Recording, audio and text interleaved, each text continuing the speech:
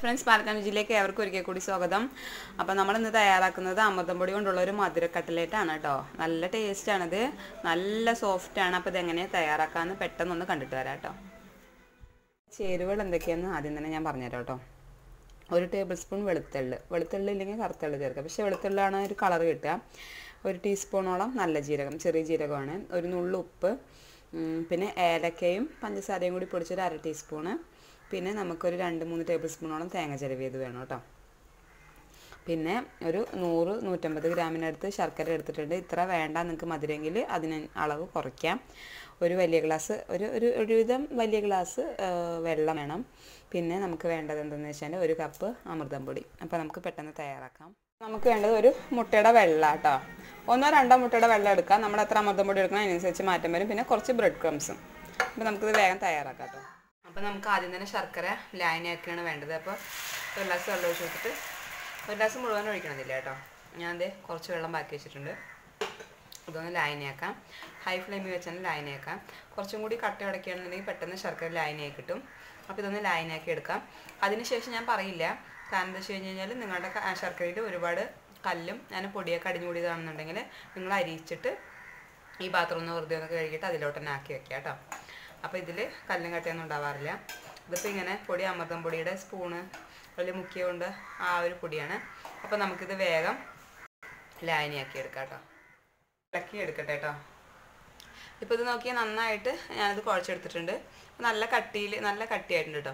ഇങ്ങനെ തന്നെ പിടിച്ച് നമുക്ക് ബോളാക്കിയിട്ട് നമുക്ക് ലഡു ആക്കിയിട്ടും കഴിക്കാം. അപ്പോൾ ഞാൻ ഇങ്ങനെയല്ല ചെയ്യുന്നത് കേട്ടോ. ഒരു കുറച്ച് വ്യത്യാസമായിട്ടാണ്. അപ്പോൾ നമുക്കിത് തയ്യാറാക്കാം. അപ്പം ഞാൻ ഈ ഇനി ഈ ഉരുളകൾ ഓരോന്നിങ്ങനെ കുറച്ച് ചെറിയൊരു ഉരുള പിടിച്ചിട്ട് അപ്പോൾ നമ്മുടെ ഉള്ളം കയ്യിൽ തന്നെ വെച്ചിട്ട് അങ്ങനെ പ്രസ് ചെയ്ത് കൊടുക്കാം കേട്ടോ അപ്പോൾ ഇത്ര. അപ്പോൾ അങ്ങനെ തന്നെ എല്ലാം ചെയ്തെടുക്കണേ. അപ്പോൾ ഞാനിപ്പോൾ ഒരു പാത്രത്തിൽ കുറച്ച് ഓയിൽ ഒഴിച്ചു കൊടുത്തിട്ടുണ്ട്. ഒക്കെ തെറ്റിപ്പോൾ ഞാൻ തള്ളിയതെങ്കിൽ നമ്മുടെ ഓയിൽ ചൂടാവണമെങ്കിൽ ഞാൻ എങ്ങനെയാണ് കേട്ടോ ഷേപ്പ് ചെയ്തെടുത്തിരിക്കുന്നത് അപ്പോൾ നമുക്കിത് എന്ത് ചെയ്യാന്ന് വെച്ച് കഴിഞ്ഞാൽ മുട്ടയുടെ വെള്ളയിൽ ഒന്ന് ജസ്റ്റ് ഒന്ന് മുക്കാം. എന്നിട്ട് ബ്രെഡ് ക്രംസി മുക്കിയിട്ട് നമുക്കിത് പൊരിച്ചെടുക്കാം കേട്ടോ കണ്ടോ? ഞാനൊരു മുട്ടയുടെ എടുത്തിട്ടുള്ളൂ നിങ്ങൾ ഒരുപാട് അമൃതം പൊടി എടുക്കണ്ടെങ്കിൽ രണ്ട് മുട്ടയുടെ ഒക്കെ എടുക്കാം കേട്ടോ അപ്പോൾ നമുക്ക് ബ്രെഡ് ക്രംസിൽ ഒന്ന് നോക്കിയിട്ട് നമുക്ക് അതിനെ പൊരിച്ചെടുക്കാം.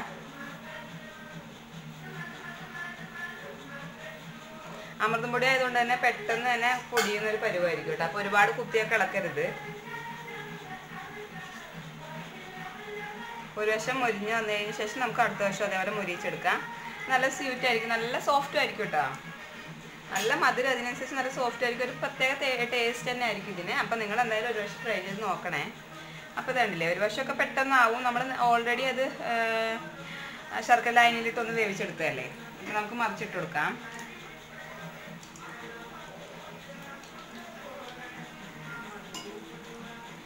കണ്ടില്ലേ? അപ്പോൾ അതൊന്ന് മറിച്ചിട്ടിട്ട് അത് നമുക്ക് കോരിയെടുക്കാം.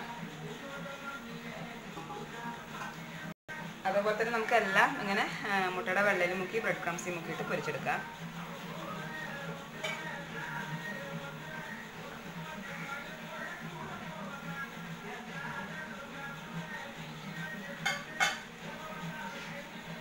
ഇത് ഫ്രൈ ആയി വന്നിട്ടുണ്ട് കേട്ടോ പെട്ടെന്നാവും.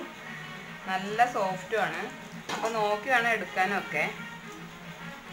ഇതിന്റെ ഉള്ളിൽ നല്ല സോഫ്റ്റ് ആയിരിക്കും. ഒരു വ്യത്യസ്തമായൊരു ടേസ്റ്റ് ആയിരിക്കും. നമ്മൾ ഇതുവരെ രുചിച്ച് നോക്കിയിട്ടുള്ള ഒരു ടേസ്റ്റ് ആയിരിക്കില്ല ഇതിന്. അപ്പോൾ ഇതേപോലെ എല്ലാം ഫ്രൈ ചെയ്തെടുക്കാം.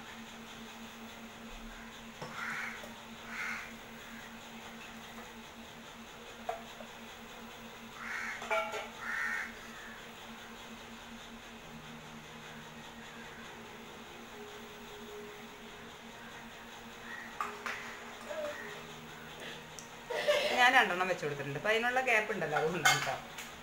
എന്നിട്ടിപ്പോൾ നമ്മുടെ ഈ നേരത്തെ ഇട്ടതിന്റെ ഒരു വശം മുരിഞ്ഞു വന്നിട്ടുണ്ടാവും അപ്പോൾ നമുക്ക് ഇങ്ങനെ മെല്ലെ മറിച്ചിട്ട് കൊടുക്കാം. മെല്ലെ മറിച്ചിട്ട് കൊടുക്കണേ. കണ്ടോ? അതേപോലെ ഇത് നമുക്ക് അതേപോലെ മുരിഞ്ഞ് വരുമ്പോൾ മറിച്ചിട്ട് കൊടുക്കുക എന്നിട്ട് ഫ്രൈ ചെയ്തെടുക്കുക അതേപോലെ തന്നെ മുഴുവനും ചെയ്യാട്ടോ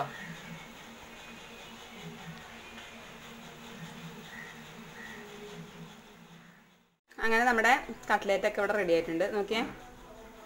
നല്ല സോഫ്റ്റ് ആണ് കേട്ടോ നല്ല ടേസ്റ്റാണ് കണ്ടില്ലേ? നല്ല മധുരമുള്ള കട്ട്ലേറ്റ് നമ്മുടെ കുട്ടികൾക്ക് സ്പെഷ്യലായിട്ട് ഉണ്ടാക്കി കൊടുക്കാൻ പറ്റുന്ന അമൃതം പൊടി കട്ട്ലേറ്റ് ഇവിടെ റെഡി ആയിട്ടുണ്ട്. അപ്പോൾ നിങ്ങൾക്ക് ഇഷ്ടമായിട്ടുണ്ടാവും ഞാൻ വിശ്വസിക്കുകയാണ്. എന്നത്തെ പോലെ ഞാൻ എന്നും അങ്ങനെ തന്നെ വിശ്വസിച്ചുകൊണ്ടാ അപ്പോൾ അങ്ങനെ വിശ്വസിക്കുകയാണ്. ഇഷ്ടമായിട്ടുണ്ടെങ്കിൽ ചാനൽ സബ്സ്ക്രൈബ് ചെയ്യുക ലൈക്ക് ചെയ്യുക ഷെയർ ചെയ്യുക കമന്റ് ചെയ്യുക. Thank for watching